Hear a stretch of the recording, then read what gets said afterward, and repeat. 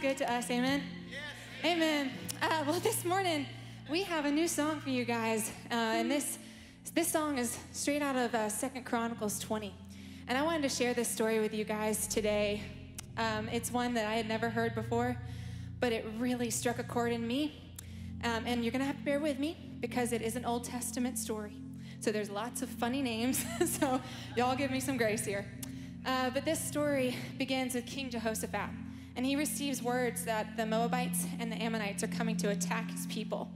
And he immediately declares a fast and a prayer across all the nation and all the people come together. And as they begin to pray, the scripture tells us that the Spirit came upon a Levite man.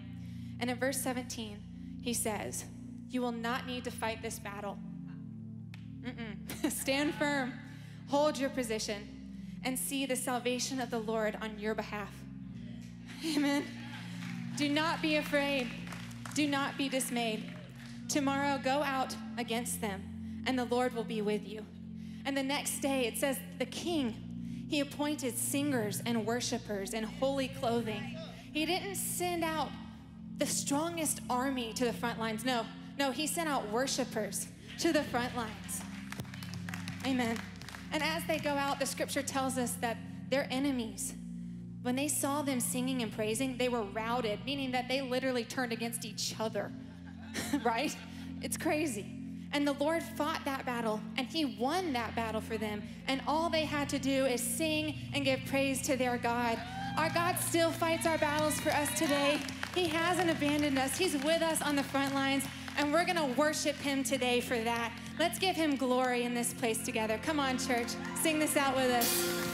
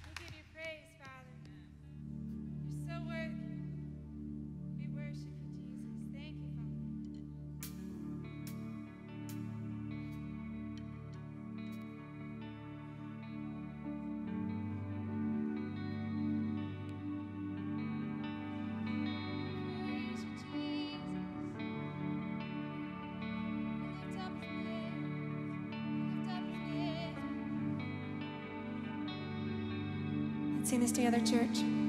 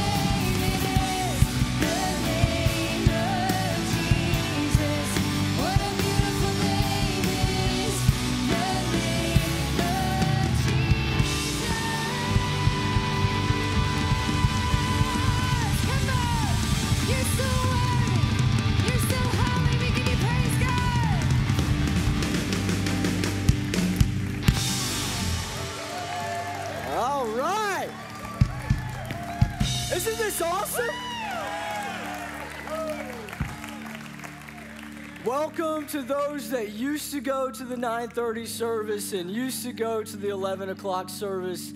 This is crazy. Like this is awesome. And so, welcome to summer at West Cobb Church. Uh, man, you guys could be seated. We are so excited that you guys are here. And, and uh, man, singing songs, it's much more than singing songs. And we can sing songs about how good God is, and those can just be words. But let me tell you how good God is, because God is still moving, God is still working, God is still changing lives, and there's, uh, there's power in prayer. Because I believe prayer is the difference. It's the difference from what I can do and the difference from what God can do. And, and we have something special about how God is working today. Um, we have an individual, Noah, uh, right here, uh, was in a ATV accident about a month or so ago, and uh, doctors didn't even know if you were gonna make it or walk, bro. And you are a living testimony of how God is still moving. And man, I just want to tell you that there's been tons of people that have come alongside of you and your family. And just the battle's Jesus's. And, and we're so glad for what God's doing in your life. So thank you for being here. It's more of a testimony to us as a body than it is probably to you right now. And so, man, God is so good, and we're excited for what God's gonna do. Uh, I also wanna say thank you so much for your generosity towards our church and the mission of who we are. As we head into the summer, without your sacrificial giving and generosity, we can't do what we're gonna do this summer. And so we're excited, we're pumped for what God's gonna do starting today. And so you can continue to give towards WCCGive.com. We have drop boxes that are at the back of the room as you leave, or you can give traditionally, however you like uh, uh, to do. But we greatly appreciate you guys giving uh, because we believe the next is going to be so cool, and, and we're going to give all the glory to God. Um, I know it's a it's a packed house today, and so whether you come to the 9:30 service, 11 o'clock service, uh, maybe this is your first time here, maybe you're re-engaging back with us. We'd love to connect with you better, and so. If you are a guest today, would you please take out your phone and text the word guest to the number that's on the screen? And not only um, is it a way just for us to follow up with you and hear your story and connect you guys with what God's doing this summer, but we also want to give you a $5 Starbucks gift card and just say thank you. Thank you for being here. And so I, I'm actually serious about this. And so if you're if you're tuning in online or you're here in person here in person, this is your first time re-engaging back with us, please do us a favor. Text the word guest to that number. Fill out that connect card. We'd love to connect with you better, put a name with a face, but also buy your coffee tomorrow morning. All right? So uh, please do that. We have so many things going on uh, that we're doing in the summer. June 25th, we're having a men's gathering. Uh, man, our men are fired up about this. And so uh, this is just a great opportunity uh, for guys just to come together and just have community, connect, uh, enjoy some worship, some amazing food, catering in some barbecue, having some games. Uh, and this is just going to be a great opportunity, not for you to get engaged, but for you to invite a coworker, a friend, um, whatever that looks like. So June 25th, we're going to have more information to pass out to you guys and share with you guys in the, in the few weeks to come. But put that date on your calendar, guys. Wives, elbow your husbands right now. June 25th. That's not an event that you want to miss, guys. I promise you that, all right? Now, I'm going to give you a fair warning. In about 10 to 15 minutes, David, I apologize in advance. You're going to smell a lot of good food. And everybody knows what happens when people get hangry. All right? So we have an incredible lunch following this service. And so we want everyone to stay. We have food for every single person. And it's uh, amazing food. Um, you know, food is on us, connection, community. We'd love to connect with you guys, talk with you guys, just do life together. That's our theme throughout the whole summer. We have activities and food for kids and preschool students, so no pressure on anything for your family. In fact, kids, we're having a Nerf war in the kids' room. And so let me tell you, it's on like Donkey Kong, all right? So everything is planned for you guys. And so following the service, everything's gonna be in the lobby. We love to just um, connect and, and enjoy each other's company just for a few, few uh, maybe an hour at most. But everything is on us. And so uh, we're excited for that excited for the summer, and today we're kicking off our summer series called It Matters. Why does church matter? Why does what we do matter?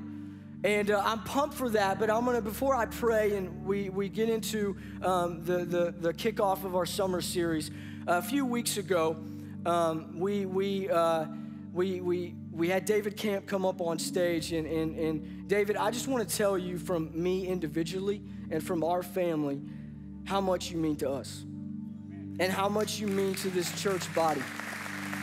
And uh, I am thankful for you to be our interim pastor and lead us into a time as this.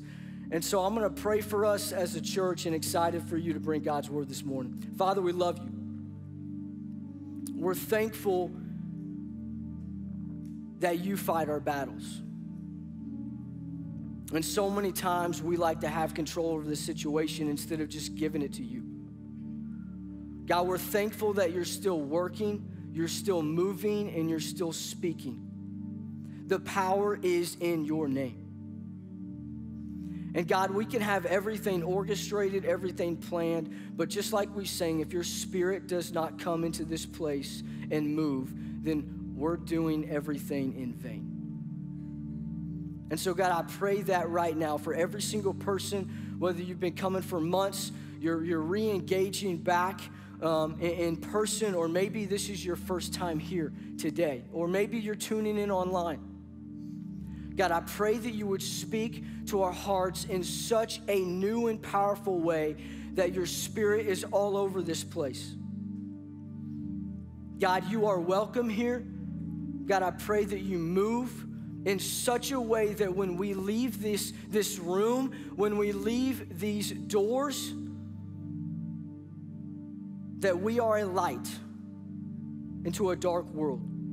We are salt And God, I pray that you would continue to bless and pour into West Cobb Church. God, I pray that you would speak through David Camp today. God, that his words will be from you and not of flesh. And I pray that you change lives in this place today. Because you are a God that changes lives. We love you and we pray this in your name. Amen.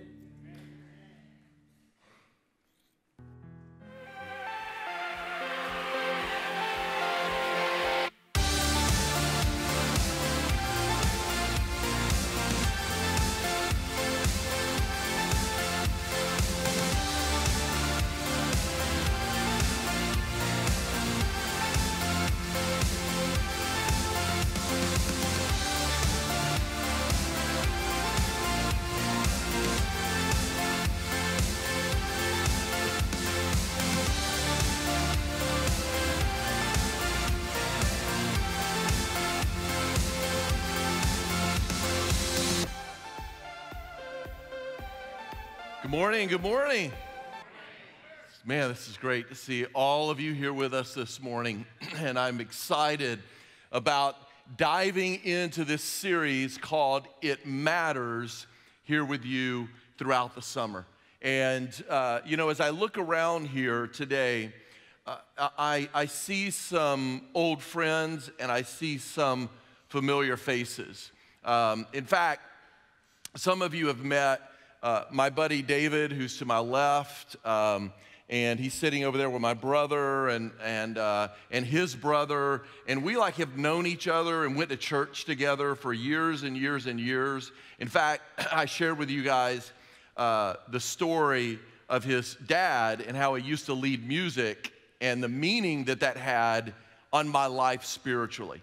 I see some other people here today that, uh, that, have, that have that are here this morning who've been coming, who actually were a part of a church start uh, that we did back in 1993 over in the Osborne High School community. And it makes me think about this. When I see those faces, you know what? It makes me remember the power and the impact and the influence that the church had in my own life.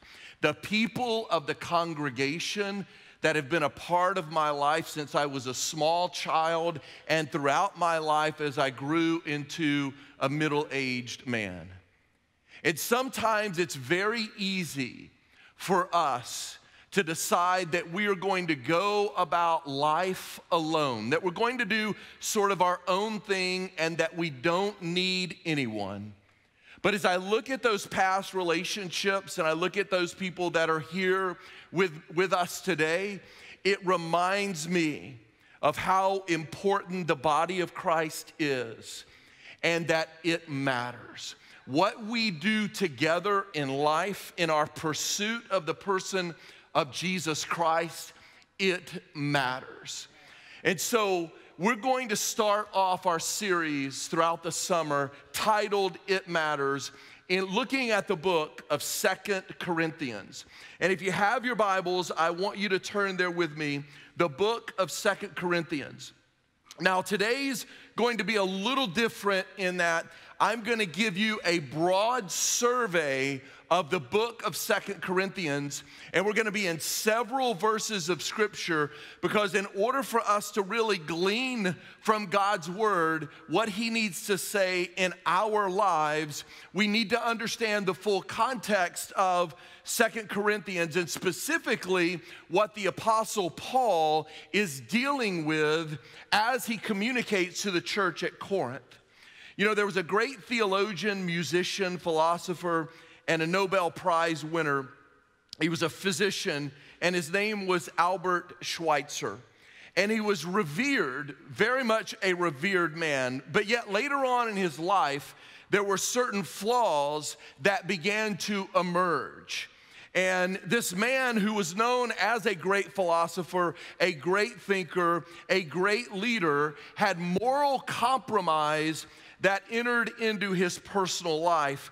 Yet, history over time has tended to overlook those flaws. And Albert Schweitzer said these words He says, A man does not have to be an angel to be a saint. A man does not have to be an angel to be a saint.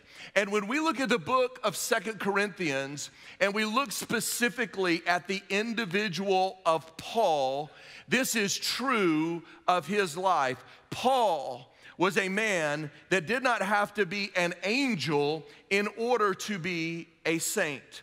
And the Apostle Paul is writing to the Corinthian church, and he's trying to stress a very important point. There is division, there's chaos, and there's some misdirection going on.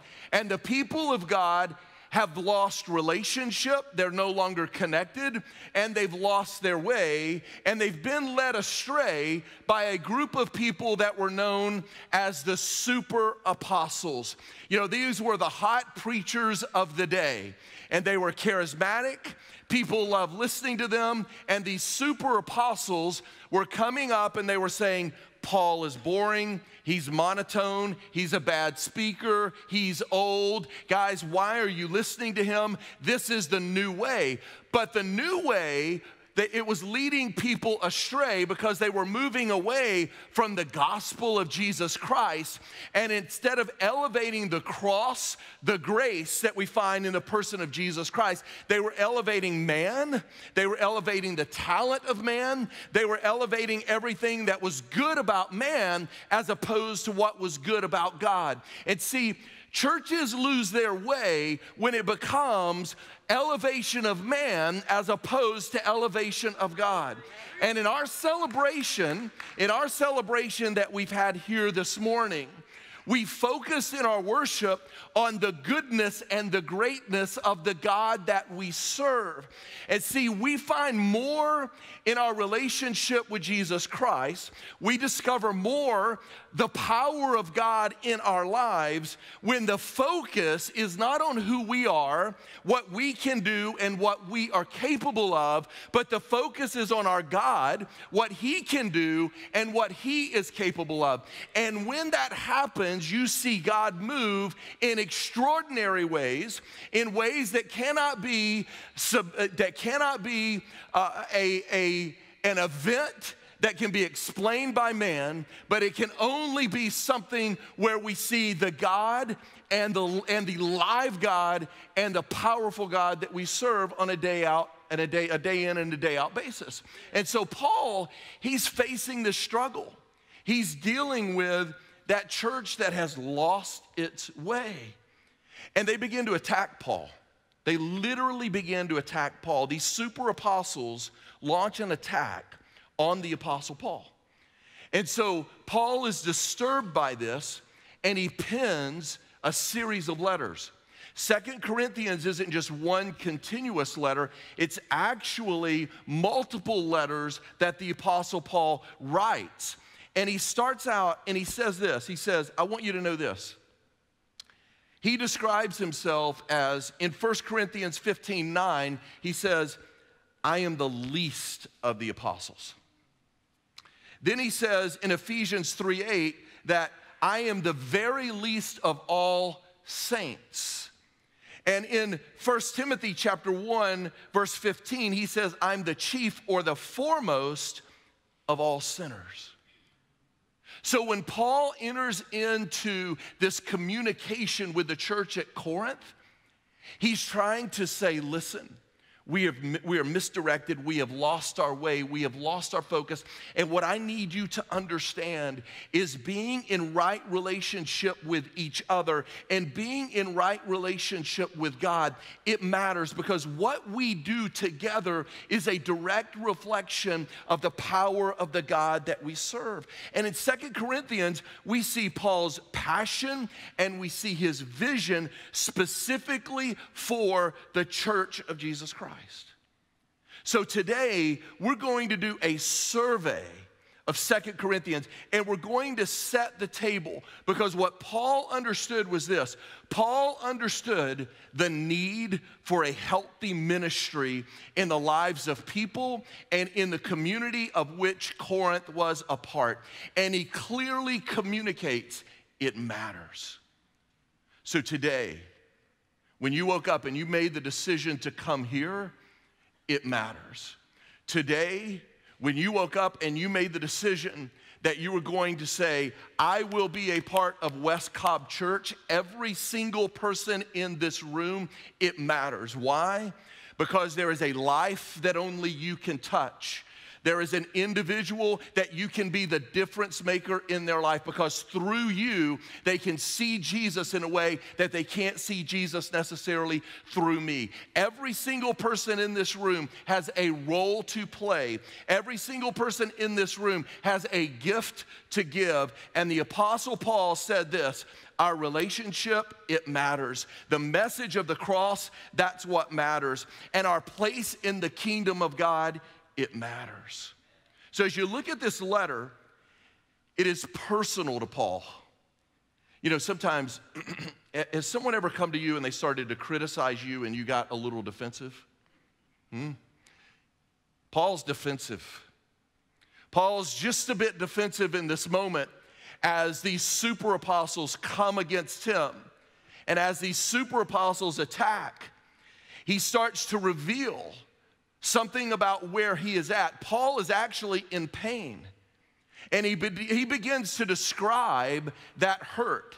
He is very transparent and he, he begins to reveal, he says, Listen, guys, in my walk with God, I've experienced great pain along with great joy. In my walk with God, I've experienced great outrage and I've experienced suffering. But I've also seen and experienced the love of God and the conviction of God. And when you read this letter and you truly go deep into this letter, you see that the Apostle Paul has a heart that is breaking. It is breaking because his leadership is being called into question. The gospel of Jesus Christ is being called into question, and the people of God have lost their way. And he says to them, He says, I see the misdirection. I know that this is a body that is losing its way. And Paul was frustrated because he could not seem to change the tide. He did not seem to have enough influence to change the momentum that was actually taking place where the church was no longer fulfilling its purpose in its community of Corinth. In fact, Paul became a man of great status that was losing ground with the church at Corinth that was losing its way. And this once revered leader is facing a people's majority that arm in arm, lockstep, they're choosing to go in a different direction. And I want you to look in Second Corinthians chapter 1, I want you to read with me verses 8 through 11. 2 Corinthians chapter 1, verses 8 through 11. Paul writes, We do not want you to be uniform, brothers, about the hardships we suffered in the province of Asia. We were under great pressure, far beyond our ability to endure so that we despaired even in, uh, of life. So he's saying, Look, I don't want you to be uninformed about the fact that we have suffered, that we have endured. He's being open. In verse 9, he says, Indeed, in our hearts we felt the sentence of death. We thought that, this, that it was over for us, but this happened that we might not rely on ourselves, but on God who raises the dead. He has delivered us from such a deadly peril and he will deliver us. On him we have set our hope that he will continue to deliver us. As you help us by your prayers, then many will give thanks on our behalf for the gracious favor granted us in answer to the prayers of many. So the Apostle Paul opens up and he says, Listen, I am in despair. I have faced trouble. I've been doing the work of God, even to the point to where it almost cost me my life. And then he goes on and he says this I am struggling. I am weary, but in God I trust. If you summarize that particular text, that's what you see. Paul says, Listen, church, I'm weary, I'm struggling, but it is in God that I trust. So, as Paul is facing this battle, as Paul speaks in his defense, he steps up and he says this Listen, guys, I am doing the work that God has called me to do to the point that it has cost me my life almost.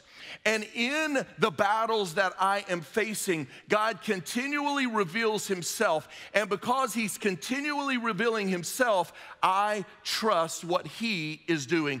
Don't give up on me and don't stray from what I'm saying. He goes on, look with me in chapter 4, if you would. Chapter 4. And I want you to read with me starting in verse 8. 2 Corinthians chapter 4, verse 8. He then goes on and he says, We are hard pressed on every side, but not crushed, perplexed, but not in despair, persecuted, but not abandoned, struck down, but not destroyed we always carry around in our body the death of Jesus, so that the life of Jesus may also be revealed in our body. For we who are alive and always being given over to death for Jesus' sake, so that his life may be revealed in our mortal body. So when, he look, when you look at that particular text, one of the things that he points out is he uses the word perplexed in verse 8. The idea of perplexed specifically is without way. And the whole problem that Paul is dealing with as he fights this battle is he and the church are perplexed. They are without way. Paul is confused, and that word, that idea of per- perplexed, is that I am aimless and I don't quite know where to turn. I see the goodness of God. I see the struggles of life. I see the goodness of God. I see the struggles of life. And when we, church, have this conflict, Paul said, it puts me in a position where I am perplexed. I don't even know what to do next. Have you ever been a point in your life where you're just perplexed? You're lost? You're aimless? Have you ever been to that place in your life and you don't know specifically what to do? Well, that not only happens to us personally, but it can also happen to us collectively as a body. You know, I read an article of Forbes magazine, and they were talking about the number one reason that people hate their careers, their jobs. And they called it drift syndrome. Drift syndrome. Now, if I, and it's okay, right? We're gonna be transparent here today. You're, you're gonna see that as we get to where I'm going. How many of you hate your job? Raise your hand. You hate your job, okay? There, I see hands going up, okay?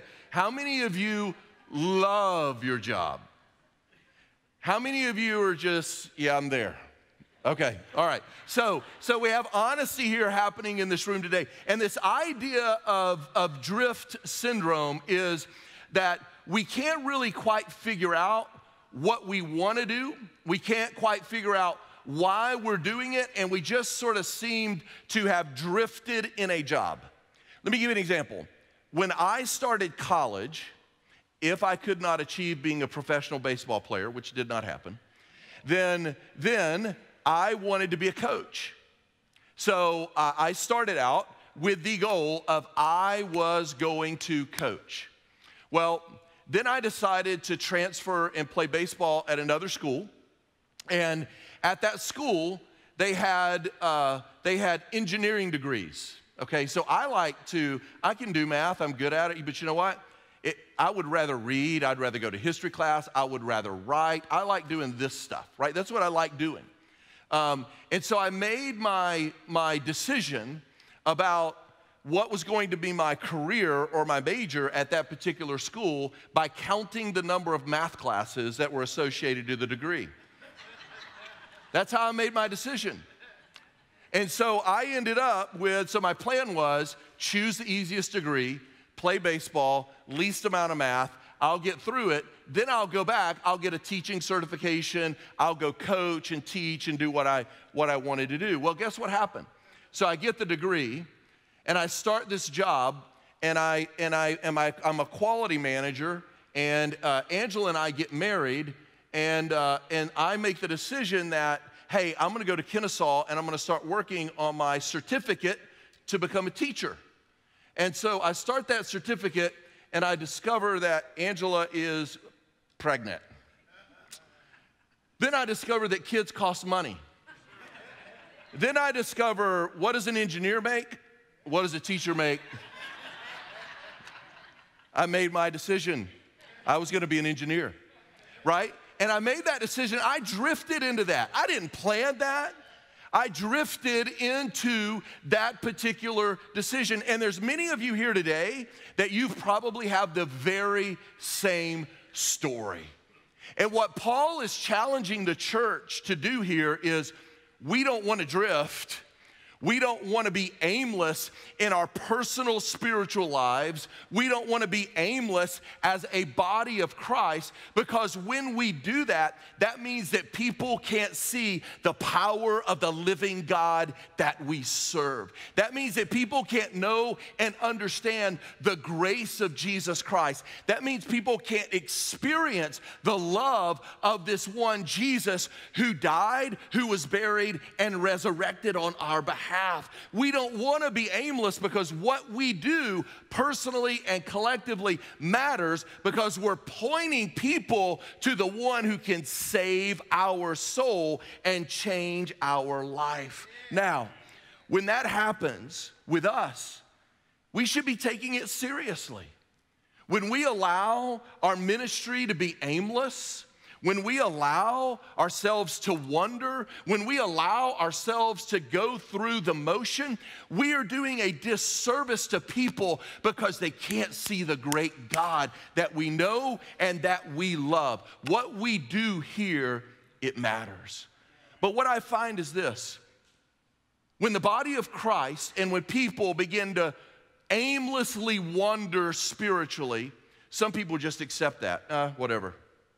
Just accept it. I'm cool with it. Whatever. I'll just, I'm going to go through the motions. This is tradition. We've been doing this all of our lives. I'm just going to go through the motions. Then there's others who say, I'm going to face it. No, I'm going to be real about where I'm at spiritually. I'm going to be real about where our church is at spiritually. I'm going to be real about the direction that my life is going. And they're going to face it. And as they face it, then there's a decision to fix it. Now, a lot of people struggle between face it and fix it. Why? Because when you decide to fix it, that means that you are deciding to be committed. In your own spiritual life, if you are wandering aimlessly, where are you? Are you at the place of accepting it? Are you at the place of facing it? Or are you at the place of fixing it? What we need to do if we really want to see God act and move through this body of Christ individually, we need to say no to accepting it. We need to say yes to facing it, and we need to say yes to fixing it right? We here have decided that we want to be a part of the local body of West Cobb Church. And as a part of the local body of West Cobb Church, I don't want to be a bystander st- sitting up in the stands just watching the action. I want to be a player that's not just on the bench wearing the jersey. I actually want to be on the field playing, right? I want the ball in my hand. That's the attitude that we need to have if God is going to do what God can do and what God is capable of in the lives of the people here in this body and the community of which we're a part. Now, as Paul goes on throughout the scripture, I want to highlight for you four truths that surface that we're going to dive into. Now, I'm going to hit these relatively quickly, but we're going to be diving into these deeply over the coming weeks. The first thing in the passage that we just read in Second Corinthians chapter 4, what we see is this people of God are not immune to difficulty. People of God are not immune to difficulty. Now, I, I talked about this a few weeks ago, so I'm not going to harp on it further, but this idea that somehow you become a believer and everything in your life lines up is a lie, right? It is not true. Every single one of us, if you are in this room today and you've been a believer for an extended period of time, raise your hand if you've had trouble in your life. Okay, all the hands go up. Raise your hand if you ever lost a job. Raise your hand if you were ever sick. Raise your hand if you ever had a financial difficulty, right? All of us in this room have experienced difficulty. We are not immune to it. The second thing is this people of God experience the tensions and the contradictions of life. If you look there in Second Corinthians chapter 4 specifically, when, Paul, when Paul talks about, I'm hard pressed on every side, but I'm not crushed. I'm perplexed, but I'm not in despair. I am persecuted, but I haven't been abandoned. I am struck down, but guess what? I'm not destroyed. Right? Those are contradictions in life. And he does the same thing in the book of Second Corinthians, chapter 6, verses 3 through 10. You can read it there. But Paul talks about these contradictions that he will deal with. He even says, Look, some people give a good report about me, and some people give a bad report about me. Paul was dealing with the highs and the lows, the struggles and the joys of life. And he, you know, some of us go into our faith and we think that because I'm a believer and everything's gonna be great in my life, that they get quickly disappointed when they find out that that is not the case, that somehow saying yes to Jesus is a magic pill that ensures that all I have in life is comfort, success, peace, possessions, car, you know, all that's good. And when it gets hard and life is tense and life is tough and life is unfair and people don't like you and people come against you and people don't agree with you, then our tendency is to go, I, I, I, I quit. I can't do, I can't do this. But when we move forward in our faith to a great place of maturity, it is when we understand that there is tensions and contradictions as people of God in this life that we live. Here's the great thing about it life's tensions expose our weakness and draw us to God's power. The Apostle Paul in chapter 11, verses 23 through 27, you can note it.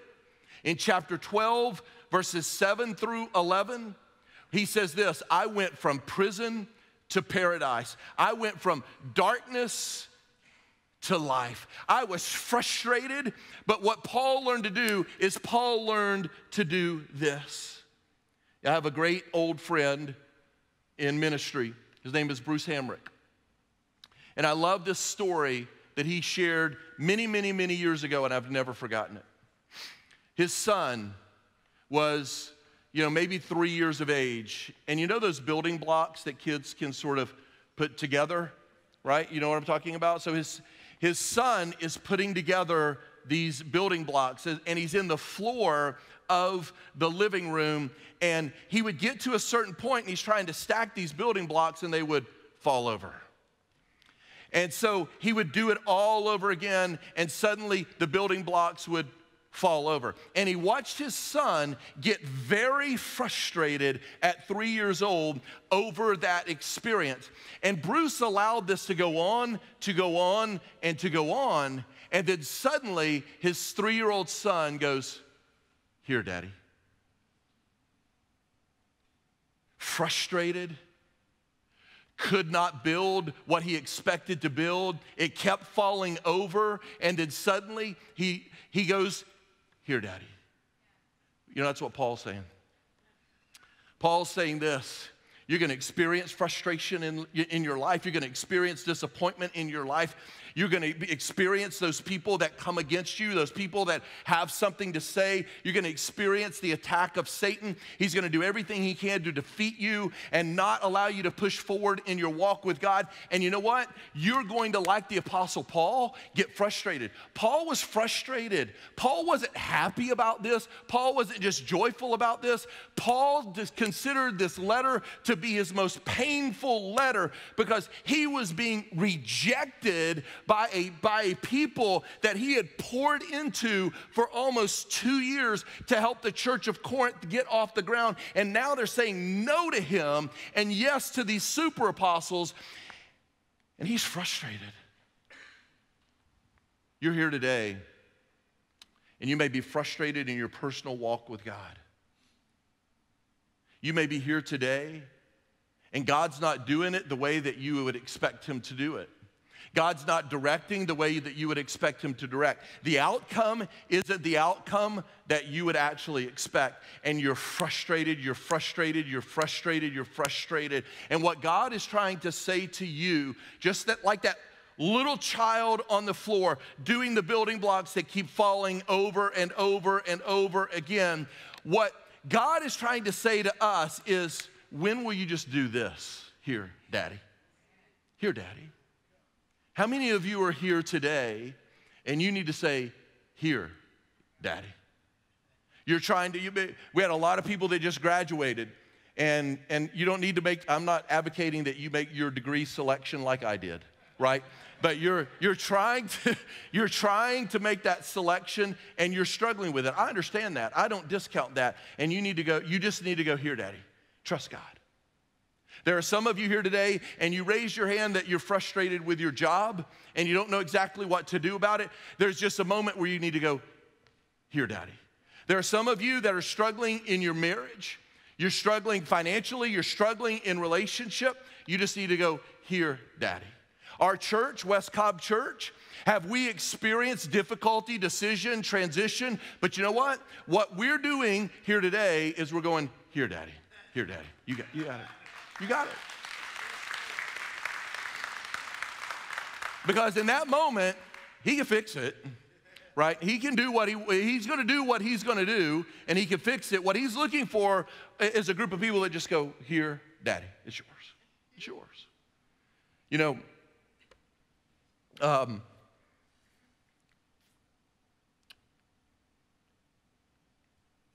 I had a conversation with a friend and we were talking about how we miss being able to pick up the phone and call your dad. Um, I was talking to my brother about it and the inability to sort of be able to just to share because there's something about it when you call your dad, just something about it. And those of you who've lost your parent, you know exactly what I'm talking about. You just sometimes want to pick up that phone and you want to hear that voice because you know it's okay. And listen to me. Today, we call on God for our lives personally. Today, we call on God for West Cobb Church, and He hears, He responds, He's not gone. He's alive, He's Alpha, Omega, beginning, end, never leave, never forsake. And we don't have to wonder, we don't have to be aimless, we don't have to be misdirected. He hears. All we have to do, Daddy, and make the call.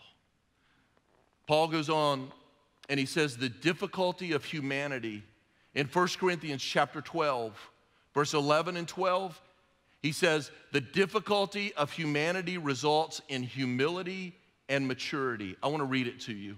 2 Corinthians Second Corinthians chapter 12, verses 11 and 12. I'm just going to I'm going to read this to you. I have made a fool of myself, but you drove me to it. He's talking to the he's talking to the people of the church. And he said, I ought to have been commended by you, for I am not in the least inferior to the super apostles, even though I am nothing. The things that mark an apostle, signs, wonders, miracles, were done among you with great perseverance. You know what Paul learned?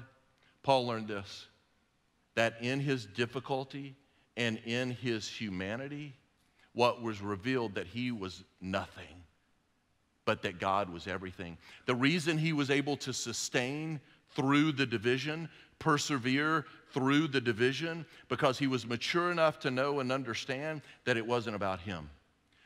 Why do you have church splits? Why do you have division in the body of Christ? Why do you have broken relationships? Because we're often not mature enough to trust what God can do. And we think it's about what we can do. Paul is in emotional pain as we conclude. And he shares with them in our state of brokenness, he makes us whole. In our state of meekness, his strength appears, God's strength appears. And in our state of weakness, his power, it is on display. This man in pain, this man rejected by people that he thought loved him. I thought we were a part of the same team. And it hurt Paul so much because it mattered. And what Paul reiterates, which we will find to the body of Christ, he, iterate, he reiterates in pain there is peace, in suffering there is strength, in weakness there is God's power. When you are attacked, he's your greatest defender. When you are weary, he can inspire you. In your humility, he is glorified. And in your despair, he is your hope. What Paul said was his life points to the God that he serves. Does yours?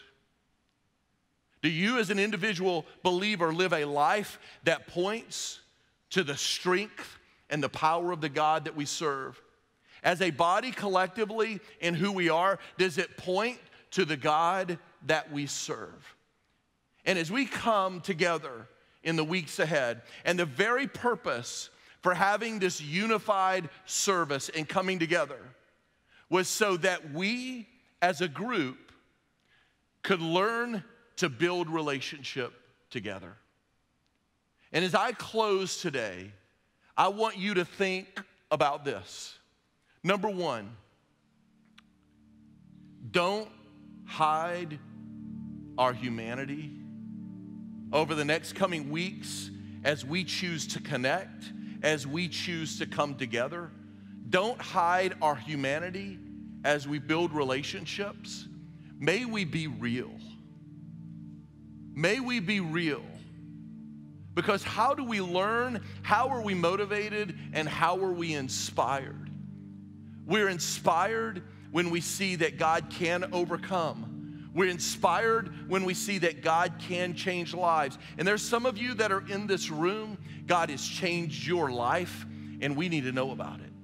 There's some of you that are in this room, God has empowered you to overcome a great struggle, and we need to be real about it and we need to know about it because it's going to be an encouragement. And don't hide your humanity because there's not one of us in this room that looked good. We're not perfect. You know, I say this jokingly. You know why I like to dress good? And I, and my, I like to have my hair fixed? And I panicked when it started to thin? I remember a moment when I was a kid and I was sitting on the dead end in our circle. And I maybe was five years old, and I remember this moment. And there were these girls that, yeah, and you're noticing them at five, you knew that they were not bad looking, right? And and I had been out playing all day. I probably had not taken a bath that day. I probably was relatively nasty, right? Because I, I, I love the dirt. And they walked by and they said, You stink. And you know what? It's amazing the things that will stick with us. And I said, From that day forward, that will, that will never be said. that will never be said. Humanity. There are people in this room, I say that jokingly, but there are people in this room that you try to hide beside and you're not real about it. You know, why are you the way you are? There's a reason. We need to share. Be real about that. Be real about the humanity within you that God strengthened you to overcome and to deal with. Be real. Don't, number two, in these weeks ahead, as we connect, as we eat together, as, as we're part of these host parties that you're going to hear more about as I close, don't deny your faults. Don't deny your faults. Don't deny your weaknesses. Don't deny your imperfections because it opens the door for God's strength to be on display. You understand that? If I'm just denying my fault, if I'm denying my weakness, if I'm denying my imperfections, then I'm trying to create this facade of something I'm not, I'm not, and people don't get to see the real God in my real life. And listen, when people get to see the real God in your real life, there's the strength of God and the power of God that's on display. And man, that is a motivator and that is an encourager. And you and I, being human and being real, it matters. Because I need to know your story and you need to know my story. And then last, don't fear saying, I need help. I need help. Why? Because when you say, I need help, which the Apostle Paul did, it opens the door for the hope of Christ to be on display. When you say, I need help, I need prayer. You know, I remember as a young pastor, it was a different era. But if I, you would be shocked at the end of the service and people would want me to pray for them, the things that they would share with me. It was a different era. People were willing to say, I'm human. People were willing to say, I'm weak. People were willing to say, I'm struggling. People were willing to say, I need help. And everything that the Apostle Paul outlines in the church at Corinth being misdirected, he points to them and goes, Guys, we're not being real. We're not expressing our humanity so that the glory of God can be displayed. God is not on display because we're choosing to appear to be something that we're not. And, church, here's the opportunity that you have. Number one, we have an at the table event today. You see these name tags that Laura put together? You see those name tags? That's for us to get to know each other. Some of us are here and we don't even know each other's name. And we've been going here for months or for years. Today, number one objective is get, to get to know someone you don't know. Name tag. And if you're shy, it's okay. We're to break out of it. We're to break out of it today. The second thing is this throughout the weeks ahead, we're going to have what we call host or dinner parties. And I need people to sign up and say, I'm going to be a host and I'm going to invite people. And I don't care if you do it at your house. I don't care if you go to Longhorn, right? Because that's probably, if you go with me, that's probably where you're going to go. I don't care where you go. I don't care how you do it. I don't care if you do it over breakfast. I don't care if you do it, I call it a dinner party, but whatever, right? We need people to say, yep, I want you to sign up. I will be a host. I'm going to be a host. And then over the weeks ahead, we're going to invite you. You're going to be invited, and and and you're going to get to go get and get to know people that you're not in relationship with and start to build fellowship. I challenge you to step out because that's a face it and fix it moment because you got to make that step. And then from there, I challenge you to build relationship with someone one on one that you can be in accountability with. By the end of the summer, that you've got a relationship. And you know how this happens? Some of you are in here today and you like to shop. I guess you don't do that socially anymore, though. It's all Amazon, right? So, yep, that's why those boxes come to my house. Now, some of you may be here today and you maybe like to fish. Some of you may be here and you like to golf. Some of you may be here and you may be a Braves fan. Some of you may be here and you like to exercise.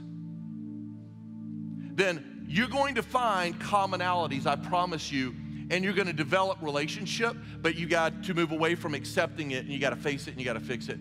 If we want God to do what God needs to do at West Cobb, it starts with us being in community at the table. Now, I share this with you. I saw my daughter, Taylor, who, when, when I walked off stage, you saw me kiss her on the cheek. I don't just, you know, kiss anybody up here, right? So that was my daughter. Um, and so when Taylor and Spencer were in New York, they were at a church called C3. The church is several thousand people today. You know what it started with? A man and wife from Australia called to New York, knew no one. They go to their building and they start inviting people to dinner. And their church was built on what's called a dinner party. Six locations, several thousand people in a five to six year period, all built off of dinner parties, people getting connected. And I'll tell you this if my daughter and son in law had not found C3 Church and been invited to a dinner party, and they're invite, you're invited to a dinner party the moment you walk in the door. It's not optional, right? Come on, I'm gonna, where do you live? I live in this borough. Then you're going to this dinner party. And I can tell you that they found community, they found fellowship, and they found service there in a city where they knew no one. And so I believe that we as a church need to do the same. And people love food, and people love to be in communion around food. And let's start as a body getting connected. Should you be a host? I want you to think about it. I want you to pray about it. And I want you to volunteer, however that may be. There's going to be things that are coming throughout the summer that you're going to be invited to, like the men's event. The ladies have more to come. Pastor Todd in the family ministry is putting together things for the family. Pastor David in the student ministry is putting things together for the student ministry. And the challenge is this we don't want to be passive. We don't want to be disconnected. We don't want to be going through the motions because what we do matters. It is life or death, it has eternal consequences. I challenge you to get involved and to be involved as we go through this summer and we connect at the table. The band's going to come in a moment and they're going to sing a song, and it's called At the Table. Wonderful song. And I want you to listen to the words of that song, and I want you to pray. While that song is being played, I want you to pray and to worship right where you are. And I want you to ask God to help you to step forward in faith, to be committed to being connected, so that God can do what He desires to do through us and through this body to glorify Jesus. Let us pray together. Father, thank you for this time. God, I thank you for this day. God, I thank you for this group of people that came together here on the first Sunday of summer and said, I'm going to participate in being connected and I'm going to participate in being at the table.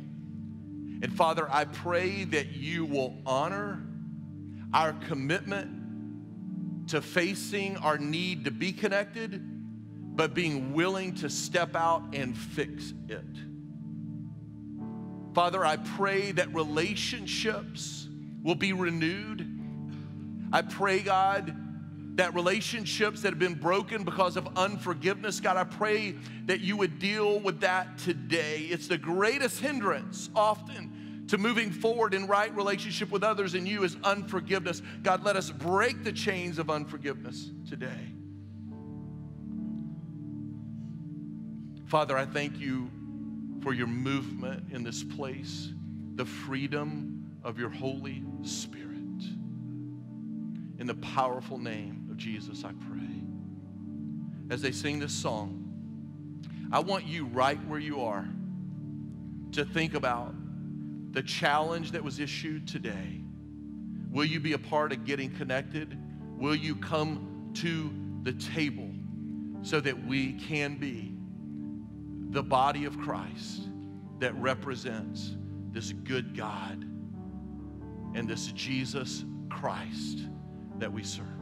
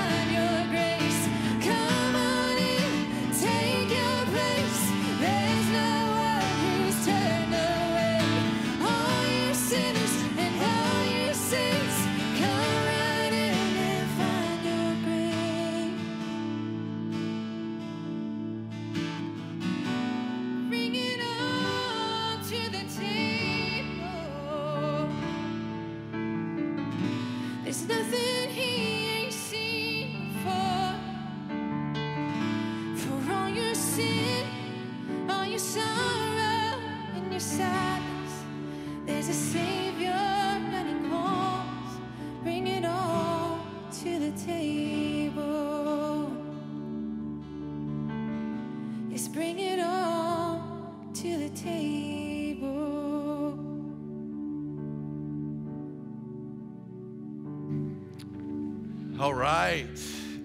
Thank you guys for being here today.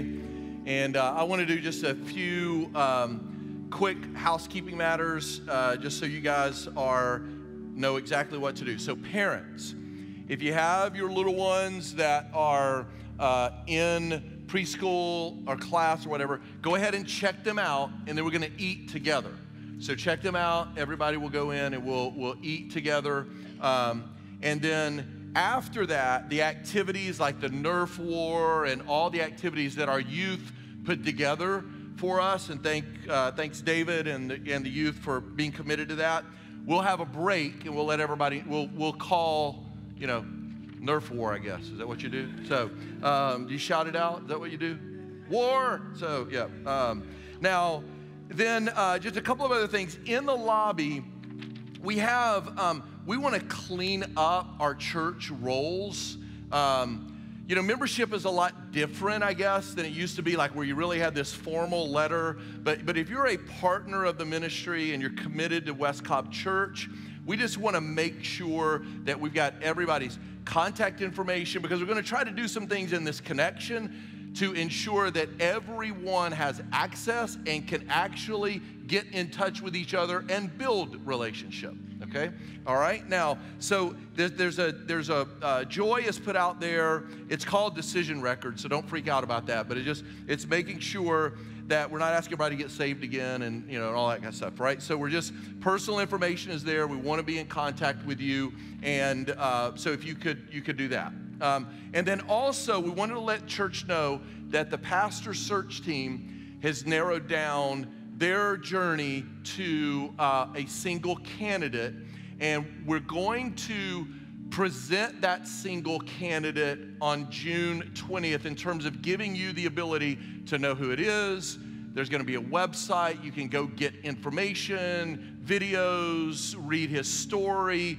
All of those things are going to be made available to you uh, so that uh, you, you can get to familiar with this individual. And then there's a process after that that we have to present uh, uh, he and his family to the church uh, for vote. Um, but it's very important that we get these rolls cleaned up because even with that, we've got voting that will have to occur on the pastor position, so on and so forth. And so we're just trying to make sure that we are clean and aligned with everything that we need to do uh, in cor- correctly and in order. So there's a lot of food out there. Okay, I'm telling you. There's uh, Bill Shoop is he in here? Bill, how many pork butts do we have? Over 20? 22 pork butts. Okay. Then then there's fried chicken. Okay. I kind of worried about that because I checked my blood pressure yesterday when I went into Publix and I'm, I'm, a little up and I'm trying not to have to go back on that medicine, but I keep eating that way. Um, and so uh, there's, I, I, mean, you name it. There's coleslaw. There, uh, there's uh, beans. There's cat. I mean, you, it's it's all there, and and there's plenty to be eaten. And so we need everybody to. We'll we'll say a quick blessing, and I want to thank all of the people that were involved in putting this together. Yep yeah, yeah, yeah. So, um, and uh, you, you, know, and, and, and I hate to. There's so many that were involved, but I, do want to. I do want to note a couple of people. Uh, first, Diane Cannon did an overhaul on that kitchen, and when I tell you that it was it was it, was a little shoddy, it was a, it was a, it had not been used in a while, and it, and you man, you can do a tour of the kitchen today if you'd like, right? But you have to wash dishes if you go in there, all right? Uh, she did an amazing job with that. Thank you to Diane. And then my wife, Angela, um, she, she does not like to be uh, presented in any way in public, so, but I thank her. She was, uh, and then there were just a group of ladies and all the men that cooked. Uh, it's just, it's been amazing. And so let's say the blessing and we'll make our way over to eat. Father, I thank you for today. I pray, God, that you will bless the food that we're about to receive. And more importantly, God, I pray that we'll use this time just to enjoy each other and get to know each other. In Christ's name.